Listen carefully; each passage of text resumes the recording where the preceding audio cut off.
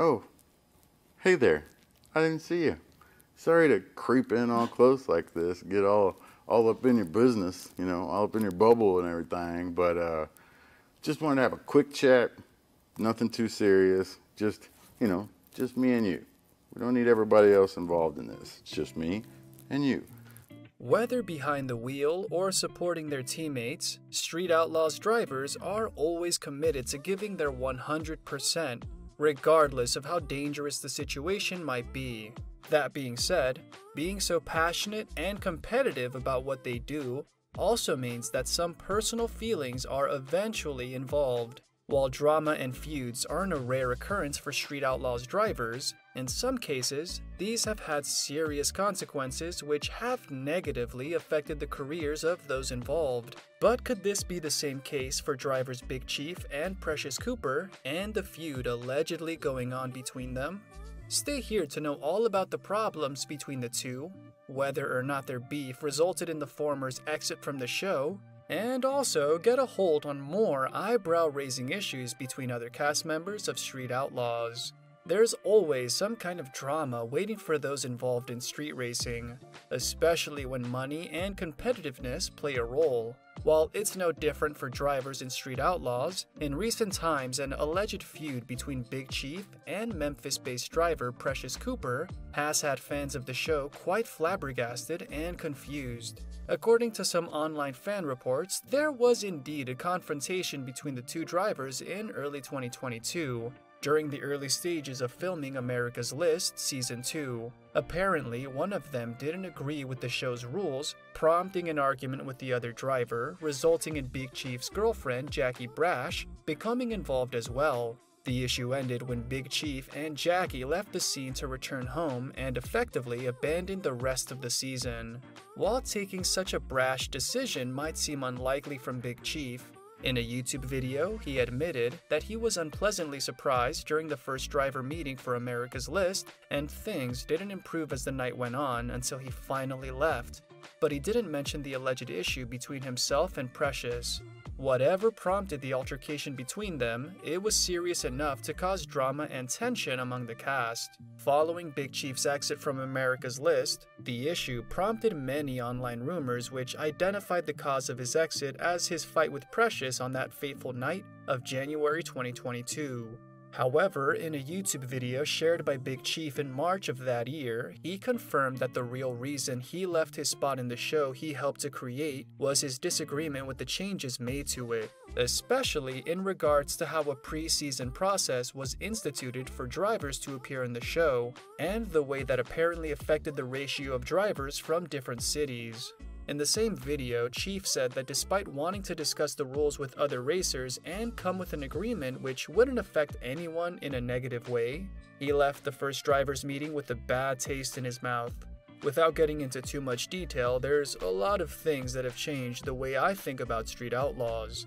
He said, but denying the claims about him leaving for not having money or not winning a race were false. His problems weren't limited only to America's List, as Big Chief also left the Street Outlaws franchise altogether, but it's clear that his passion for racing was still intact, regardless of the disagreements. Leaving America's List also meant that Big Chief's spot as race master was vacant, but not for long.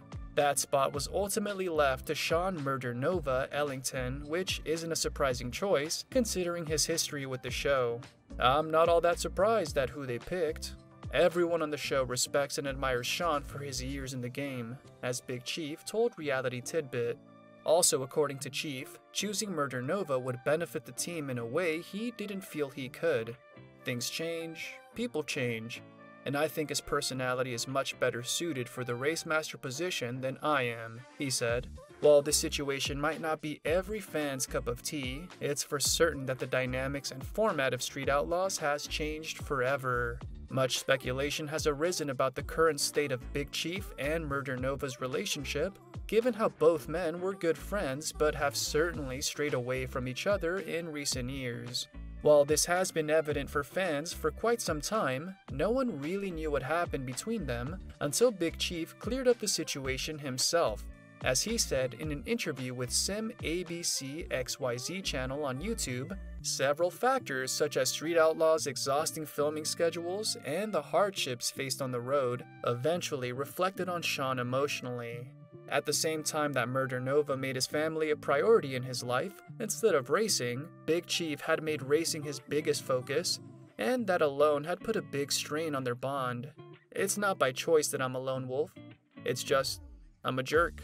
I only know one thing, and that's racing for a living, as Big Chief admitted in a later interview with Dragzine. While it couldn't be said that there's a beef going on between Big Chief and Murder Nova, it's for certain that the drivers have taken separate paths in life. Born in Kentucky but raised in Oklahoma, Justin Shearer has felt a deep passion for racing since he was only a young child. Growing up so close to Route 66, the young Justin would ride his bike there just to watch the races, and many times also accompanied his parents to races, as the passion for speed ran deep in their blood as well. That being said, growing up with a not so good money situation stopped Justin from dreaming of dedicating his life to racing.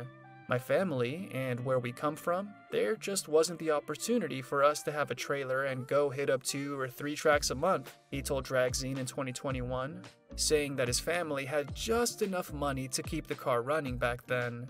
Their love for racing pushed them to join the local scene, using whatever he had at the time. Instead of buying a $4,500 trailer, or a Suburban, or a truck to pull it, we could spend that money on parts and go out and race all weekend he said in the same interview. Years later, he saw himself starting the legendary The List and bringing enough popularity to street racing for Street Outlaws to start. While difficulties were a rare thing for Justin, he learned well that those were never enough to deter him from doing what he loved. As with every other racer, Justin Shearer loves to be behind the wheel just for the thrill that only speed and competitiveness can bring. However, if there's something else which inspired Big Chief to push his limits and take Oklahoma's racing to the next level, it was to make racing and cars cool once again. As he affirmed in an interview with Drag Illustrated in 2015, growing up seeing many great cars on Route 66 really left an impression on Justin, recalling some iconic modified muscle cars such as Mustangs and Camaros. These cars were the greatest both in performance and in looks, and set a high standard back in his teens, which unfortunately changed over the decades. Everybody's getting their parents' hand me down cars, and instead of getting Monte Carlos and Regals and Mustangs, cool cars, they're getting Toyotas and Honda Accords, he said. While not everyone shares Justin's opinion in regards to modern cars, it's clear that he isn't alone when it comes to bringing back the so called car culture. Since the beginning of Street Outlaws, nothing has stopped Justin and his fellow Oklahoman drivers from making cars cool again and inspiring others to follow that road as well. Besides passion and a strong commitment to racing, Justin Shearer's inventive ways have taken him to where he is today.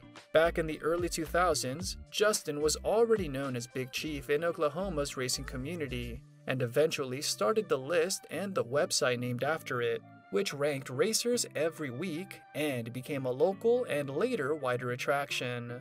Although in the first years, dozens of drivers competed to enter the list, most of them were acquaintances and friends. With time and practice, members of the list figured out how to improve their cars and level up their ranks. But little did they know that they were soon to be put under the spotlight thanks to a producer from Nebraska whose website 1320 Video launched the group to internet stardom by turning their race videos viral. Soon, a TV producer approached Big Chief and the group, who were understandably unsure about exposing their racing escapades for the world to see. Besides their initial skepticism, no one really had faith in the show back in its beginnings, as Big Chief confessed in an interview with Drag Illustrated in 2015. Nevertheless, Street Outlaws finally saw the light of day in mid 2013, and no one could stop it afterwards. Those who have been closely following Big Chief and the rest of Street Outlaws cast are surely aware that many of them have families and a whole life away from the track. So perhaps unsurprisingly, life took a turn for Big Chief when in 2017, he split from Alicia, with whom he had been since his late teens and finally married in 2006, soon welcoming two sons. While not much is known about the reasons leading to their breakup, Back when it happened, it was strongly rumored that infidelity on Justin's part had split the marriage apart. Big Chief himself denied these claims during an episode of the now discontinued podcast, The Chief and Sean Show.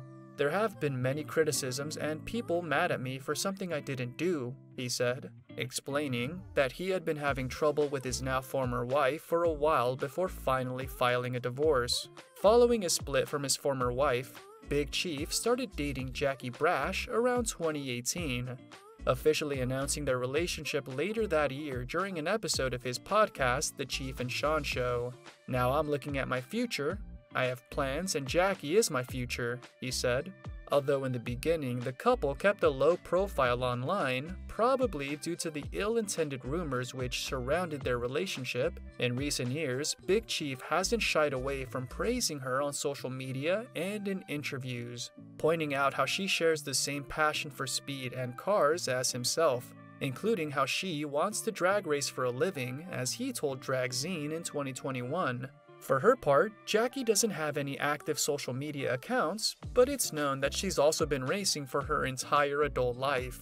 While accessing updates on the couple's everyday life is quite difficult, Big Chief's YouTube channel, Midwest Street Cars, sometimes shares their adventures together behind the wheel or doing mechanical work to their cars. While mixed reviews aren't rare for reality TV shows, the illegal aspect of the races featured in Street Outlaws has been a source of debate since its premiere in 2013.